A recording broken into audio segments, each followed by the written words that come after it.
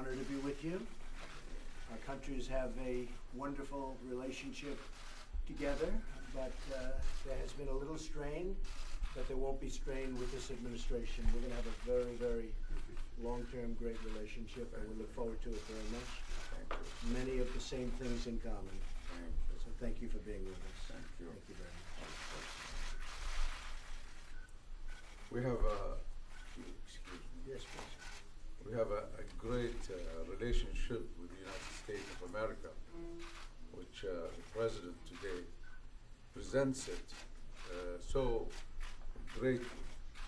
For Bahrain, it's been 120 years of relations with America, and based on a very good foundation of mutual understanding and uh, strategy that we all have worked with led to a great stability in the region and prosperity.